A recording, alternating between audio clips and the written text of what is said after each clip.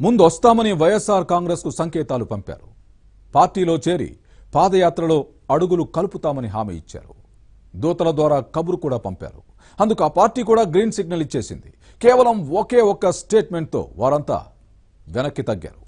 Phone చేస్తే no response. దోతలొస్తే ముఖం చాటేస్తున్నారు. వైఎస్ఆర్ కాంగ్రెస్ నేతల ఫోన్లకు అవుట్ ఆఫ్ కవరేజ్ ఏరియాలోకి వెళ్ళిన ఆ నేతలెవరో ఈ కథనంలో చూద్దాం.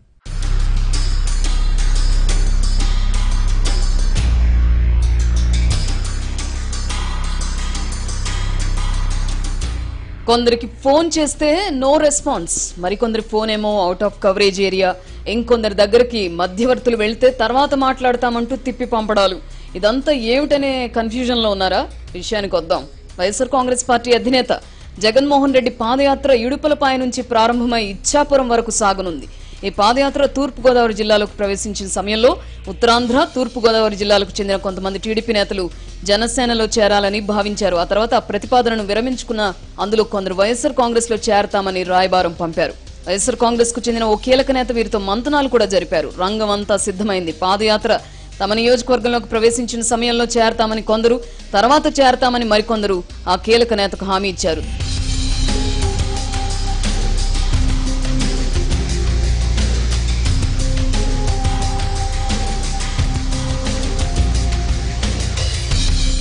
తూర్పుగోదావరి జిల్లాలో పాదయాత్ర ముగిసి విశాఖపట్నం చేరుకున్న తర్వాత కూడా వారి వైపు నుంచి ఎలాంటి స్పందన కనిపించలేదు. వైఎస్ఆర్ కాంగ్రెస్కు చెందిన ఆ కీలక నేత అంతకుముందు తనతో టచ్లో వచ్చిన వారిని సంప్రదించారు. సరైన రెస్పాన్స్ లేకపోవడంతో మధ్యవర్తులను పంపారు. కానీ వారి వైపు నుంచి ఎలాంటి కదలిక లేదు.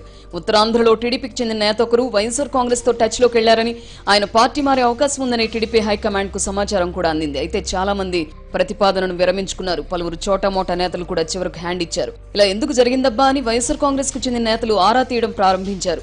తూర్పుగోదావరి జిల్లాలో పాదయాత్ర సందర్భంగా జగన్ కాపు రిజర్వేషన్లపై జగ్గంపేట పిఠాపురంలో చేసిన ప్రకటనలే కారణమని తేలింది. వైఎస్ఆర్ కాంగ్రెస్లో చేరాలనుకున్న నేతలే తాము ఆగిపోవడానికి అదే కారణమని చెప్పారట. జనసేన అధినేత పవన్ కళ్యాణ్పై జగన్ చేసిన వ్యక్తిగత విమర్శలు కాపు రిజర్వేషన్పై చేసిన వ్యాఖ్యలతో ఆ వర్గం దూరమైందట.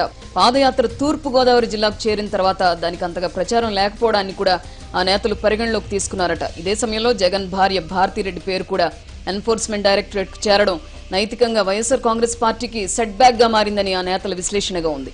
ఈ పరిణామాలన్నింటి నేపథ్యంలో వైఎస్సార్ కాంగ్రెస్లో చేరాలనుకున్న కొంతమంది నేతలు తమ ఆలోచనను విరమించుకున్నారని తేలింది. ఇదండి ఫోన్లకు no response out of coverage area వెనుకున్న అసలు కథ.